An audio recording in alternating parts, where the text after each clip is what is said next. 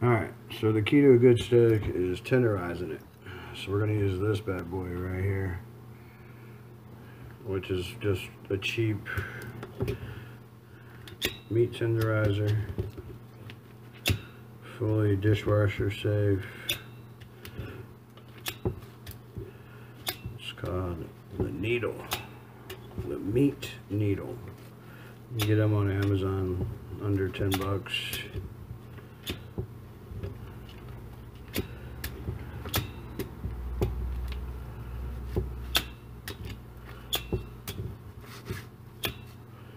Put a piece of plastic down. Don't try it on a paper plate.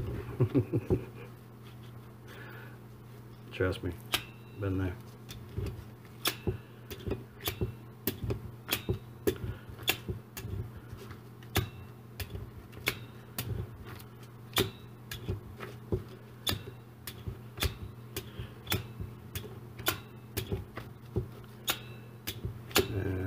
This is a uh, ribeye.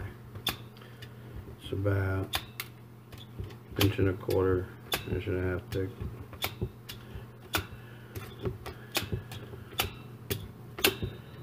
And that.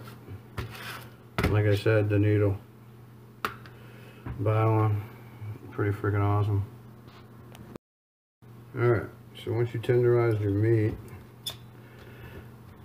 everywhere, all the all the corners, every edge, even the fat.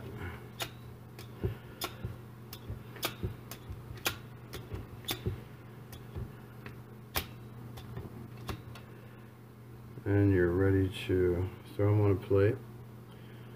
If you want to do a dry rub, you can do that. Or throw them in a bag and marinate them.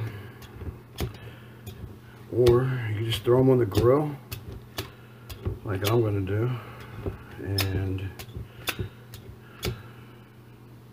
sear both sides. And once you sear both sides, then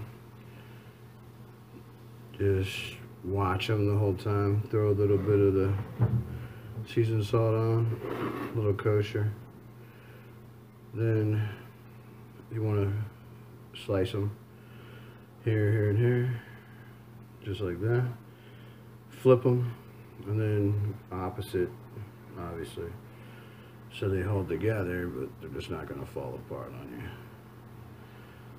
Be a great tasting steak, guaranteed. So, hope that helps. Taste the steak, hit the like button if this helped.